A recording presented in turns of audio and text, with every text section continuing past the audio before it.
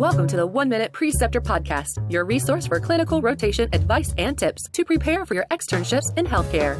Learn how to earn letters of recommendation, prepare for your clerkship, and excel at patient care from preceptors with years of practice. We interview physician educators in every specialty and clinical setting to discuss how to prepare for your rotation and improve your clinical experience. Here's your host and MedEd entrepreneur, Chase DiMarco. We are joined today by Dr. Kenneth Fisher, who was a practicing nephrologist for 31 years, is author of multiple books related to healthcare, including most recently Understanding Healthcare, a Historic Perspective, and is co-founder of the Michigan Free Market Medical Association. Kenneth, how are you doing today? I'm doing fine. How are you doing, Chase? Oh, pretty good. I'm hanging in there so far. we'll see how this goes if you're still smiling.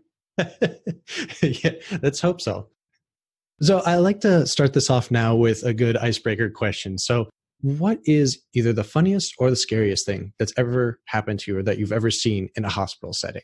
Well, I thought I'd do something a little different. Before I, I start rounds, my last job was as the director of the nephrology of fellowship program at Henry Ford Hospital.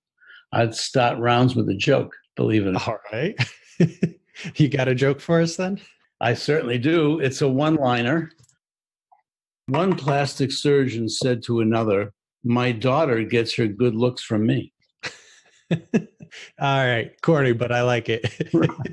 you know, so so what I would do is I'd give the senior resident this book to hold for the rotation and to pick a joke. And then if she or he did not like what was in the book, they then had to go and find a joke of their own.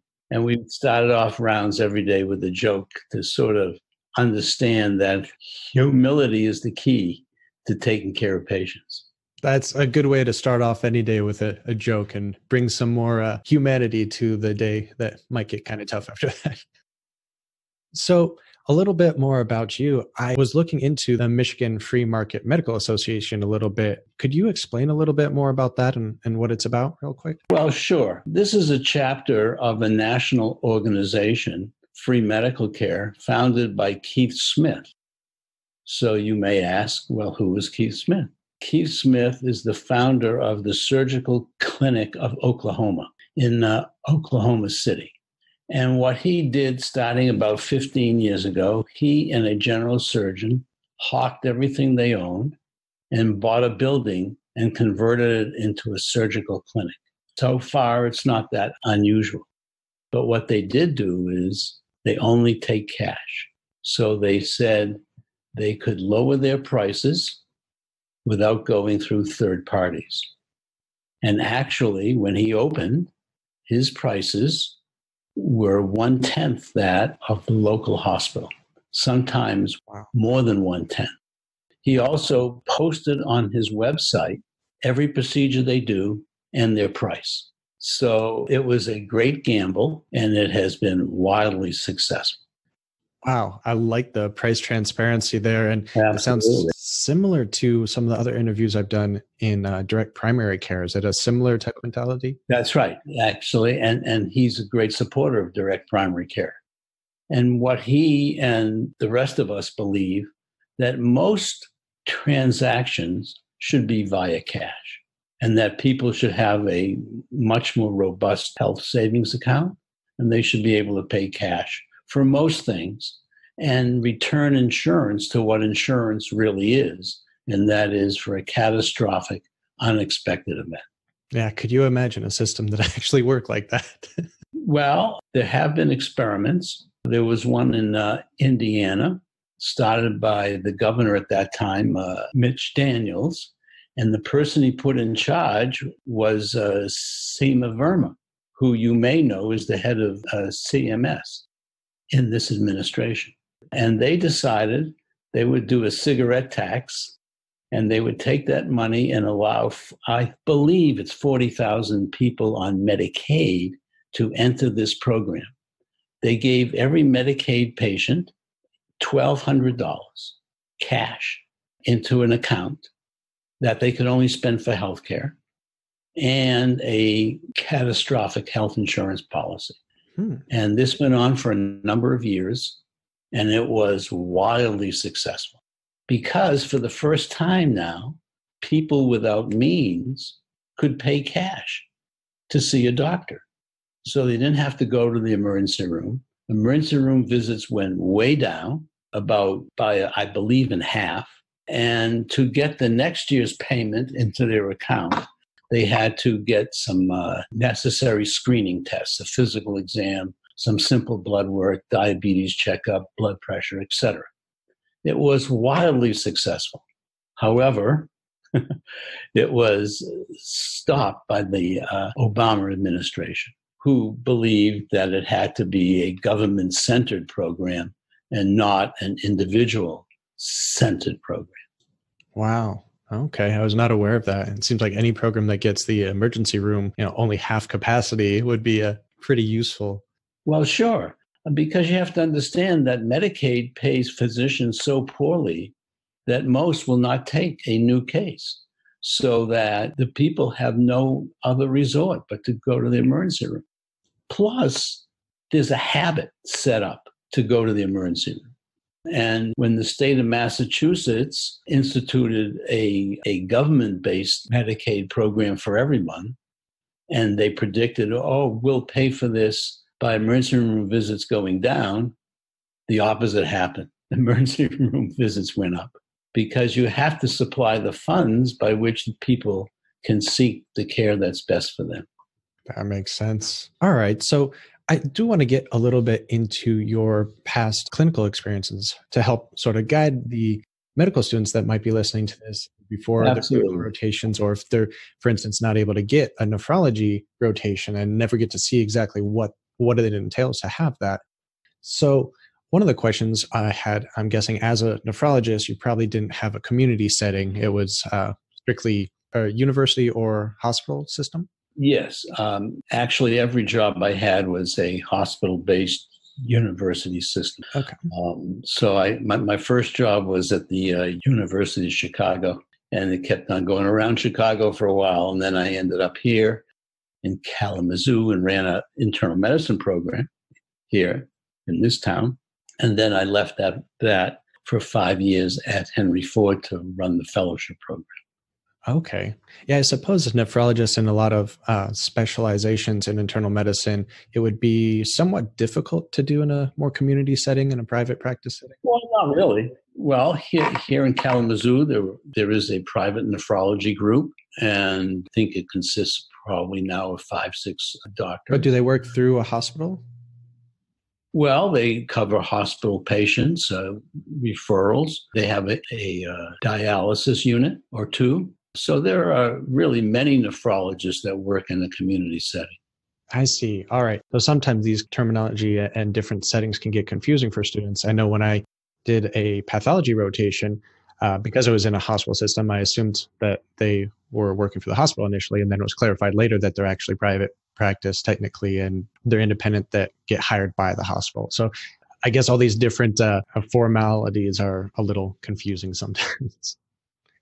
Well, that's quite true. I don't know if you want to talk about this now or later on. That, you know, right now we're in a hospital employed or, or employed doctor mm-hmm. uh, situation. Whereas 10 years ago, probably 75% of doctors owned their own practice or worked in a doctor group that owned the practice. Now it's much, it's probably around 40%. Yeah. Uh, and, you know, there's a big talk about burnout and this, that, and the other thing. So one of the things I, I want, I would like to discuss would be for your students to think about, do they wish to be an employee or do they wish to run their own practice and determine how much time they spend with patients, etc.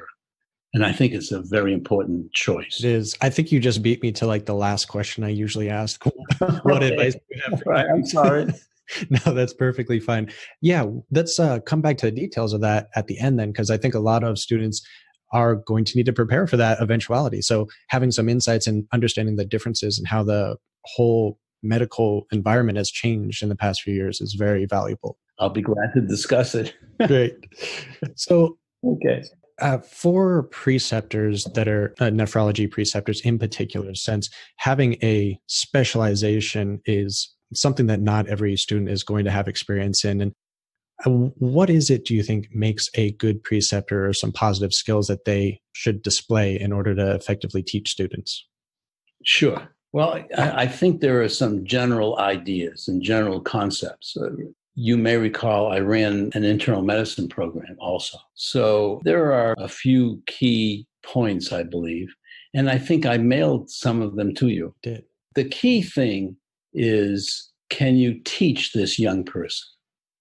It's very interesting that many young students in medicine are, I guess, insecure and they deal with that insecurity by being haughty, which is truly annoying. So I think the key thing that a student has to learn at any rotation is to be a learner, an aggressive learner, and ask questions as to why the preceptor has decided that this is the way to treat this patient under this circumstance. What is the thinking involved? And to usually pick an interesting case and read in depth about that for a day or two or three, and then discuss your thinking, the students' thinking about how they understand the pathophysiology, the impact of that disease on that particular patient, why that patient reacted the way they did, those kinds of things. But the key is to be an active learner and to be enthusiastic, but not obnoxious. So that's my little speech.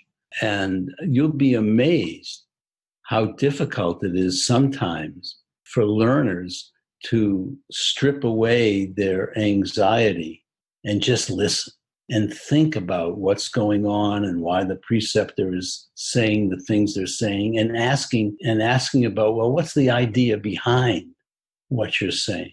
What is the thinking? What are the steps you went through to get to this conclusion?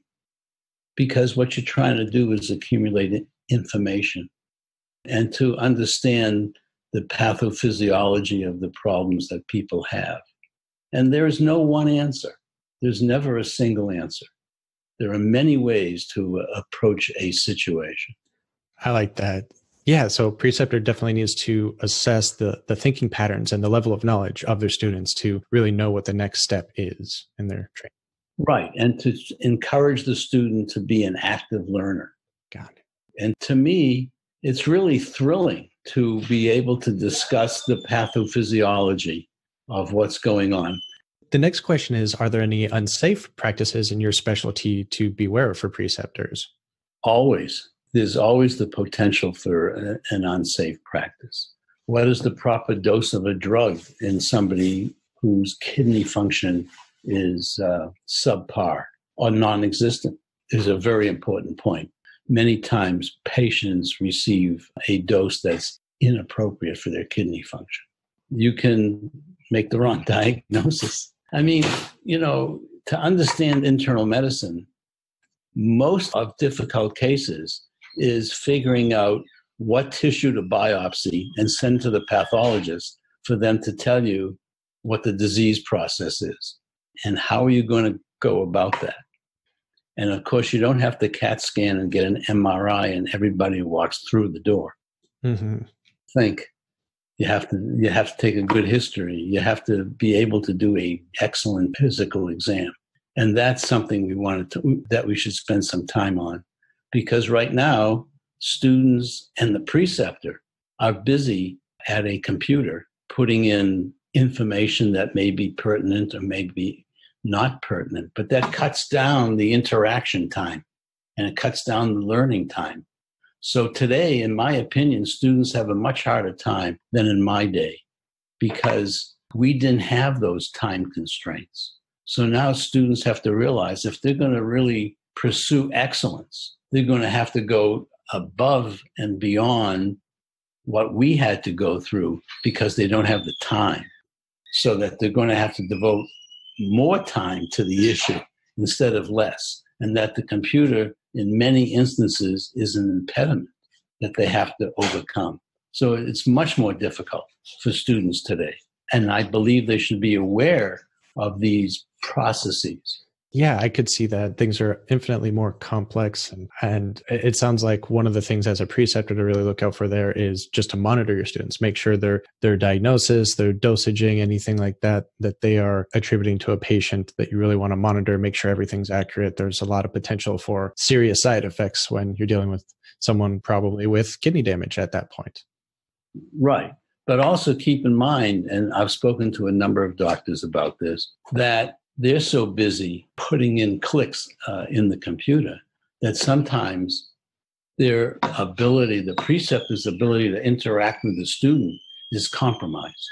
So again, the student has to realize this. And then when everybody has put in their information in the computer, to spend three, four, five minutes just chatting about what has just occurred.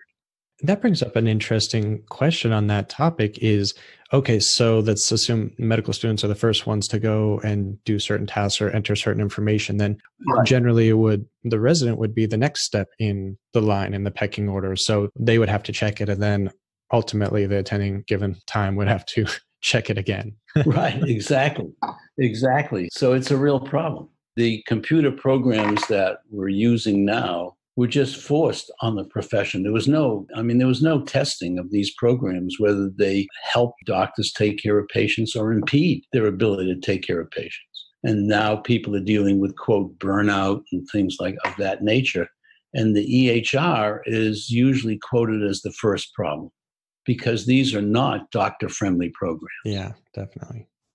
But people have to use them because they won't get paid if they use something else, except if you're like Keith Smith and you only take cash. Then you can use programs that are wonderful to use. So, again, this is something that people have to think about. Uh, it's good to see that there are more options being available to, oh, to help yeah. uh, help future physicians and current physicians out, so that can tackle this potential burnout issue, crisis, whatever uh, they're calling it. All right, that's really interesting information there. I want to know if there's any, maybe one thing that stuck out to you as a, a, learning experience when you were training, whether it be through your education or as an educator, one really good learning experience that stands out? I mean, for me, what I found most enjoyable was a interaction with a student, a resident, a fellow who was really thinking hard about the problem at hand and really went into depth and asked very important questions. And, then, of course, as a precept, you say, well, wait a second, that's a really good idea. I have to think about that for a minute. Now, that would be the highlight of the day. okay. You know, you're thinking about something that was really insightful. That would be very exciting. I wonder how often that happened. It's actually not that rare. Good. I mean, if you want to create that kind of environment, in other words, you, I think it's up to the preceptor to encourage that kind of environment. There are impediments to that. One could be the insecurity of the preceptor. I mean, that's possible. Another one could be, again, this EHR time issue, which you have to get over. But actually, there are a lot of really bright young people out there, and sometimes they ask really good questions. And that's exhilarating. You say, oh, wow, that's fantastic. I think setting up the perfect learning environment perfectly segues into one of the uh, main models that we're trying to use for this podcast, and that's the one minute preceptor model. So, would you mind if we go over that model real quick and you can give examples of how to use it? Fine. So, five steps. And the first step is to get a commitment from the student. So, how would you recommend going about getting a commitment from a student in your academic environment? Well, I would ask the student if they really want to learn. I mean, are they open to new ideas? Are they open to trying to delve into pathophysiology? Are they open to delve in what maybe should have been done and not what was done? Are they willing to ask themselves serious questions? And are they willing to understand that this is a very difficult profession? That you're not going to be right all the time. There's no such thing. But you're a person and people make mistakes but you have to make sure. And, and one of the benefits of being in a teaching situation is as you talk out what you're going to do with a particular case, you know, all of a sudden it dawns on you as you're speaking, wait a second, that doesn't make sense. Let's stop and think for a minute. So, one of the keys is to discuss what your thinking is with other people. And as you're bringing out your ideas, it dawns on you, you I mean, they don't have to say anything. It dawns on you that, oh, wait a second, that doesn't make any sense. Let, I mean, let's go back a step or two.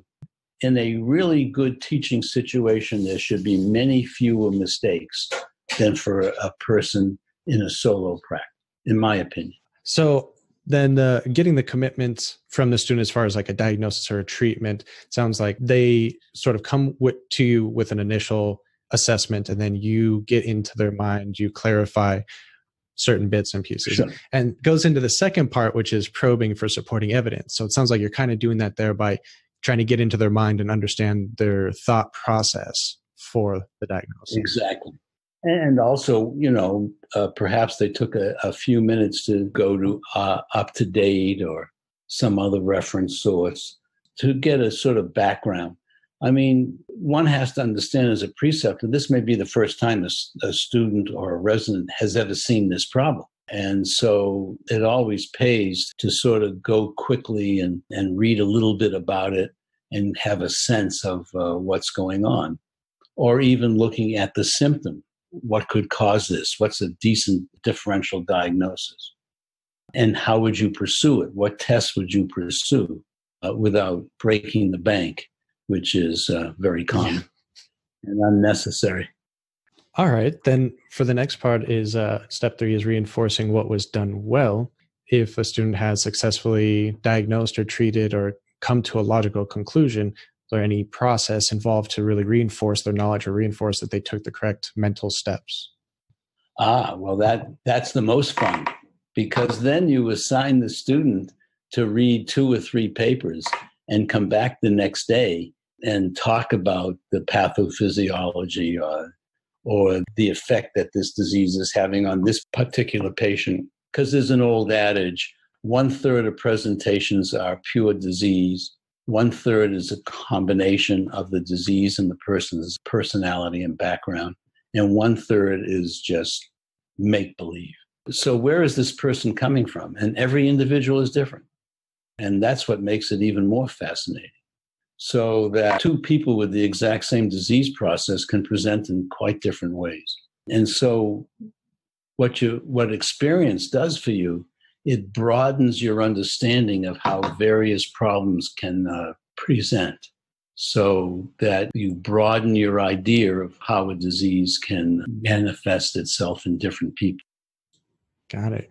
From there, the next step, step four, is sort of the opposite. Instead of reinforcing what they've done well, it's giving guidance for errors or omission. How do you go about assessing proper way to say, mm, you kind of need to fix that um, you, you, didn't quite get that right. How to guide them in that process. Sure. Well, I think that involves being patient and understanding that it's a very complex business medicine. And so, you know, I would say something like, well, you may want to rethink this particular point, and I'll give you my thinking about it. And then why don't you take this point and read about it, and let's talk about it tomorrow some more to see if you have a different viewpoint. Perfect. Yeah, I think that's very beneficial and good advice. Uh, especially these days with all of the digital resources that a lot of students have. A lot of times uh, I find that they'll just go and read it real quick in the broom closet or something and then come back like, okay, I read UpToDate or I read this journal article. And it's much, uh, sure. much faster process than it probably was in the past. Oh, no question. but there's a problem with that. And, and the problem is you have to think about it for a few minutes. Um, yeah, it's instant information, but is it wisdom? So, you know, you have to say, well, what's the implications of this and what does it mean? And another issue we all have is what's the source of the information? Was this study paid for by an insurance company? Well, then you know the result is going to be. Mm-hmm and of course, uh, or was it paid for by a drug company? Uh, I have friends at the University of Chicago who refuse to read papers paid for by insurance or drug company. Isn't that the majority of papers? Unfortunately. Uh, yeah. So that um, they have the money.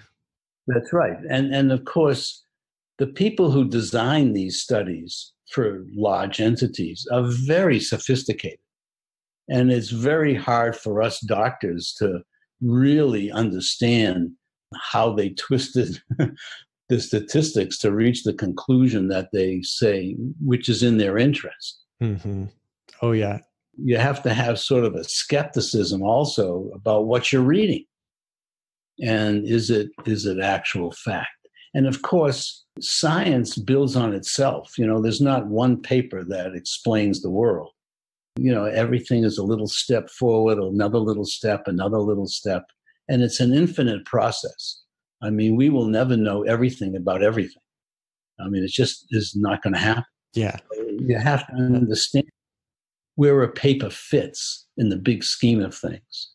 And, and that takes a lot of experience. Even though every student has to take biostats, no one says that's their favorite course or even really has a firm grasp of it when they're done. So I completely understand these papers are way above most of our heads to try to poke holes through. We just have to read them and sort of sure. go by guidelines at that point. and you get good at it after a while, but you'll never be as good as the uh, $200,000 paid statistician who's designing the study for the drug company to get the result they want. Yep, exactly. And you mentioned something when we were talking about step four about giving the student basically a reading assignment and then coming back and discussing it afterwards. And that actually leads perfectly to step five, which is teaching a general principle. So I assume at that point, once they've read the material, they come back to you, you can discuss it, then that would be discussing the general principle with them, correct? Right, exactly. Then getting into some of the student aspects, I know we already kind of discussed uh, when a student starts, what you're looking for is really to be an aggressive learner, be a be enthusiastic but not obnoxious. Are there any best practices that a student should look for before beginning a nephrology rotation, or maybe any recommended uh, materials or resources before preparing for it? I think that's an excellent question. Nephrology is um, a lot of pathophysiology. So it probably would behoove a student who's going to do a nephrology elective to freshen up on physiology, normal physiology of the kidney.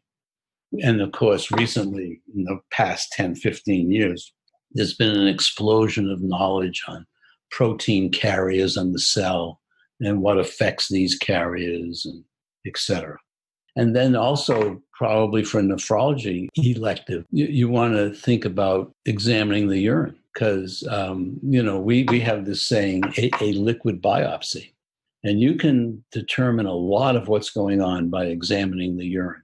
You can examine the urine for for cells and pathology, but you can also examine the urine for electrolytes and sodium, potassium, pH, all kinds of issues. So that would probably help to have a little background of that before you start.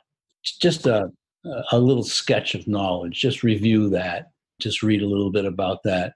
I know in our nephrology elective, we always collected urines on every patient and then went back to the lab and examined the urine carefully with special stains, and it was, it was very enjoyable. Oh, that's cool. Yeah, everyone thinks about the electrolytes and maybe microbes, but they don't really think about cytopathology and other things that can be done to it as well.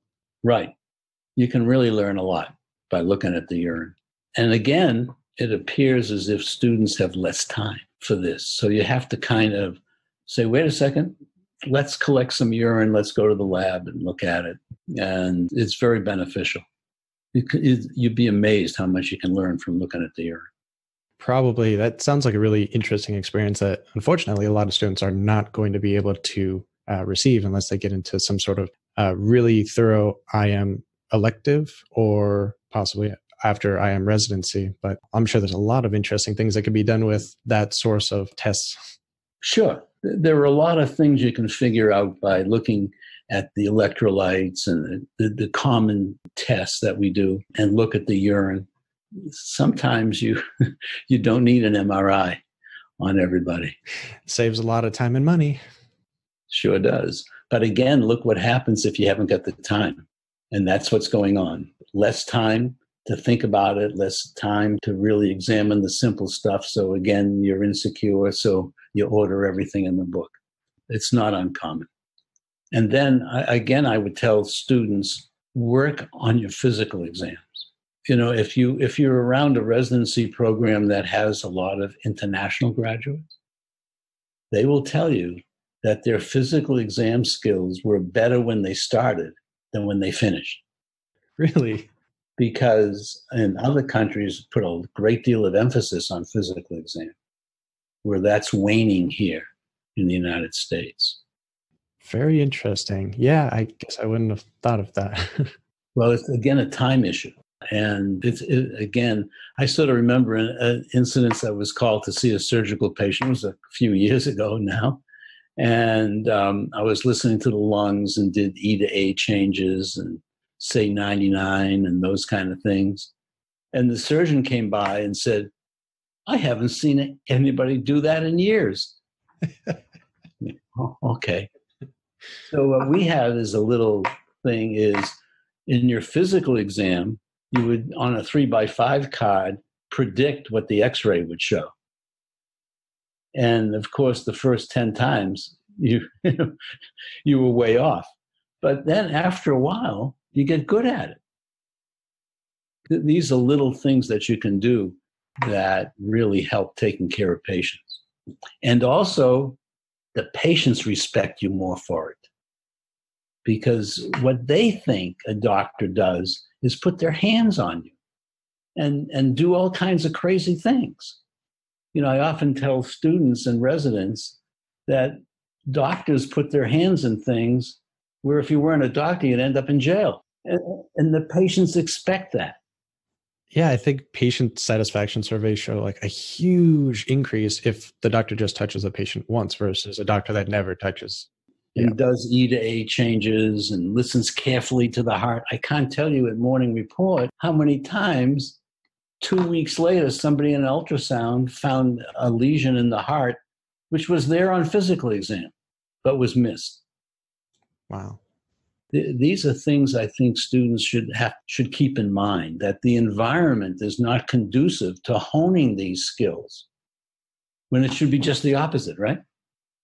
The environment should be conducive to honing these skills. Now, this might differ greatly because nephrology is being more specialized and each preceptor and attending in it might have different recommendations. But let's say a student wanted a letter of recommendation from the preceptor in nephrology, such as if they were to come to you in the past or maybe any of your sure. uh, colleagues, what would be a good way to approach that? Do you want to ask ahead of time? Do you want to show initiative first? What are some good practices, bad practices?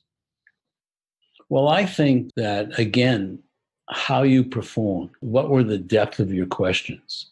Uh, how receptive were you to learning? If a student has excelled at that, then of course ask for a recommendation. I mean, sure you'd love to do it. Awesome. On the other hand, if you wanted to float by and it was a month you had to, you know, you had to do, but you didn't want to do it, and then and you didn't ask and you weren't really involved and you didn't want to learn the pathophysiology of disease and it just wasn't important to you, you know, then I probably wouldn't ask for a recommendation. And and the students know, right? I mean, I mean, you know, how involved you've been and how much you learned. If you've been a really good learner, then by all means. In the past, a lot of resources that I read or heard always said to tell your preceptor beforehand that you're looking for a letter rec- recommendation so they are aware of your goal and can assess you that way. But it sounds like mostly interviews I've done so far, that is not really applicable. It's more your performance on the job, the giving initial notification that they're looking for a letter of recommendation hasn't played a part at all.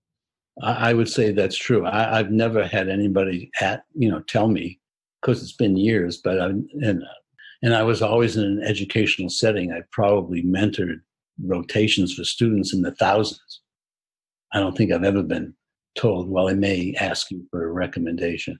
I, I would have said, "Well, well, I mean, your recommendation depends on you. I mean, not on me." It depends on you. Good point. Okay. Good to know. I'm sure a lot of the audience, if they're looking to go into a nephrology rotation, can benefit from this knowledge. And well, well I would say any rotation. Yeah, performance is just much a, a much higher marker than anything else you can do. Exactly, and and how much you care. You know how much you care about people, you know, how much you uh, have empathy for people, why you went into this in the first place, you know, personality characteristics, along with intellectual, you know, pursuit. Perfect. So this is a section of a personal question. You can choose either one or both if you feel rambunctious. But Go ahead. the first question is Is there anything you would have done differently in your career or education? Oh, that's that's really a wonderful question. And the second one, if you want to choose between them, is if there's one dream you would like to see happen in medicine in your lifetime, what would it be? Well, uh, let me answer both questions at the same time. Okay, perfect. what I write about and why I'm still active in this and how we got together is I am very disturbed by what is happening in medicine. The 10 minute visit, the dissociation between the patient and the doctor. The doctor's just another cog in the, in the wheel. I write, and I, I believe I wrote this in this piece that, that was in the Detroit News. It was in the Detroit News on purpose. It was published on Sunday because the Democratic primary TV uh, shows were going to be on, on Monday and Tuesday. So it was in the paper on Sunday, and I was hoping the, the questioners would read it, uh, but of course they didn't. But one of the, the key phrase is the interaction between a physician and a patient should be intense and intimate. That sounds kind of scary. Doesn't it? But it should be. Of course, in today's world, that the possibility of that is less and less. What's happening is as we get more developed third party medicine, who are much more interested in productivity, bottom line, those kinds of the EHR, uh, maximum payment, et cetera, et cetera, this intimate experience is being compromised. So you want to ask yourself would a situation, if we had more of a quote old fashioned relationship between patients and doctors, would, would there be so many obese people? You know, would there be so many drug abusers? Would there be so many alcoholics? The price society is paying for this mass production is huge. And I believe that has something to do with, quote, burnout, where physicians, you know, most people go into medicine, they're very compassionate people, or else they wouldn't do it. And then you, you study your brains out and have to be exposed to crazy people like me and learn and learn and learn.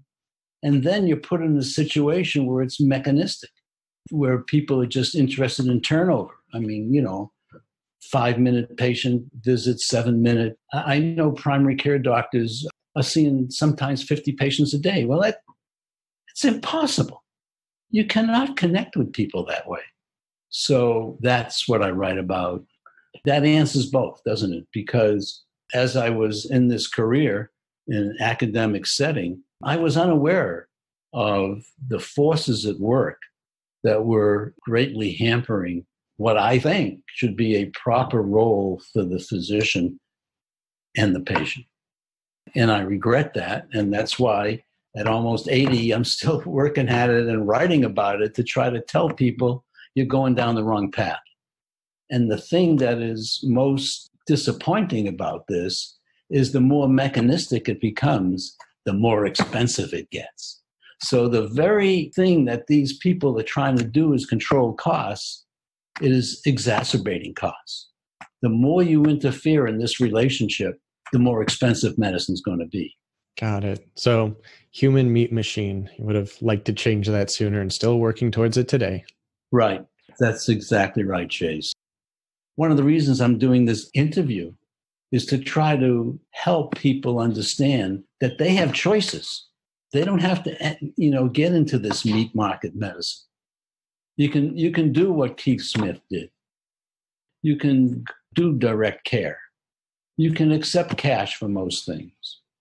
These are things, but, the, but but you have to think about this as an alternative, and it's harder in the beginning, isn't it? Instead of being put into a situation at a large corporation or in a big hospital system or something where somebody just you know, gives you the practice. And by day one, you're making an in, the income that they sign you for, but you pay a big price. Certainly do. You pay a very big price for that. If 60% of youngsters leaving residency chose not to be involved in this third party meat market, it would have to change, wouldn't it? Has to change with the market. Because we control everything that happens to patients. So it's us being shepherded down these pathways, uh, letting it happen. That's sort of a an enlightening and depressing philosophy at the same time. well, it doesn't have to be depressing. It doesn't have to be that this is what's going on. Again, people, I think it's very hard for people to recognize the the super factors that are acting on them. They're, they're hard to recognize. And don't forget, people train in large medical centers where practically everybody's on salary, right? And I can tell you in large medical centers during my career, the amount of time that you had to concentrate on these issues has has decreased dramatically but yet it continues. So yes we can change this but you have to realize what's going on. Yeah i like that message. Be the change you want to see. Right perfect. Do you have any parting thoughts for students looking into this type of specialty or? Well, it's it's very interesting. Nephrology has gone through a lot of changes. When I first was in medical school and attracted to nephrology, nephrology was primarily an inpatient career where you were referred the toughest patients and you were supposed to figure out what's going on, what's the pathophysiology, and how to fix it. So then along came dialysis, and that changed what uh, many nephrologists do, and that is take care of people with chronic renal failure end stage renal disease, dialysis. And that's a very difficult population to work with. I mean, you can make a lot of money doing it, but it, it can be very difficult. So, nephrology right now is having a difficult time recruiting fellows. But if you want to think about pathophysiology, mechanisms of disease, then it's a spectacular way to, to develop your career. Again, you have to be aware of the forces at work what you have to do to be a successful nephrologist.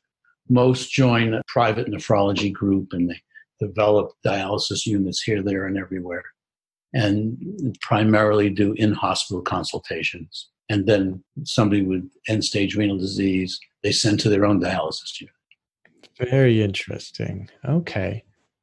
But basically, if you want to understand renal disease, it's, it's very enjoyable. Biopsies, the pathology of the different disease. And the progress that's being made now is just unbelievable as for the genetics, the carriers that are involved on cell surfaces, the interaction of different intracellular signals. If you're interested in that, then it's fascinating. And let's say for a nephrology resident or even a lower attending that wanted to maybe get into precepting, are there particular steps that you'd recommend if they're looking to get into that type of academic or educational setting? Sure. Well, usually um, working with students, you have to be in a place that has students. and places that have students are usually either a university hospital or an affiliated hospital because those where the students are. So uh, if you want to teach, which I did throughout my career, you have to be affiliated with some kind of university setting because that's where the students are, a medical school setting or an affiliate. So that's an interesting point. I kind of want to push back a little bit on because the growing number of international students that don't have an associated medical hospital, you know, medical university hospital setting they need more private practice individuals and preceptors to to gain access to that type of specialized education so i would think that those already in an academic setting are probably well versed in this but those outside of an academic setting that wanted to get involved that would be an interesting discussion to have yes i see what you're saying i think it depends whether you're talking about students because international graduates are not students anymore i mean they're they're looking for a residency right so, so if you're talking about students, students are medical school business. If you're looking at international graduates, No, no, international medical students, not international graduates. So they're still medical students and they still have to do their rotations in the Oh. US. Oh, I see. Okay, thank you, thank you, thank you. Um, I have no knowledge or experience Okay. with that. Fair enough. I never had any activity. Okay. All right. Um, we have covered a lot of material here. I know some of the resources you were saying, just study up on your pathophysiology. And since those resources are usually shifting so quickly, I don't know if you would have one or two resources you'd recommend today for students or if they should just look up. Well, I find UpToDate very useful. Okay. So if you're going to start, if you let's see, next week you're going to start a nephrology rotation as a student, then I would, you know, look up urine analysis on UpToDate. You, you don't have to spend hours and hours and look up, you know, some pathophysiology, HLA, and and tissue typing, a few broad areas to get kind of in the flow of things. Perfect. If uh, anyone wants to reach out to you personally, where can they find you? they can send me an email or get to see me on LinkedIn. I think we met on LinkedIn. Correct. So I'm sort of open for anybody who wants to connect. Okay. So finding Dr. Kenneth Fisher on LinkedIn and also your email, I believe, is on your page. So it's easy to reach out to you That's that right. way. And I'll put links in the show notes too, just for anyone that's interested. Sure, absolutely. Be a pleasure. And your books are also on your LinkedIn page. And is there any other place that they could look for those? Well, they're all over. They're on Amazon. They're on Barnes and Noble websites. Uh, if you do Kenneth A. Fisher, MD, or Understanding Healthcare, it'll pop right up on Amazon. It's both electronic and paperback. Uh, it's all there. I can tell you, as an amateur author, you don't make money writing books unless you're uh, Hillary Clinton or Michelle Obama. yeah, they have someone write it for them anyway. It doesn't count. Right. right. I know my first medical based book is uh, about to come out soon. It's for study skills for medical students. So I'm there with you. Right. It is. it's a lot of work. Uh, it's enjoyable, but it's not going to make you rich. yeah, definitely. Well, Dr. Kenneth Fisher, thank you so much for coming on the show today. Well, Chase, thank you for having me. I really enjoyed it.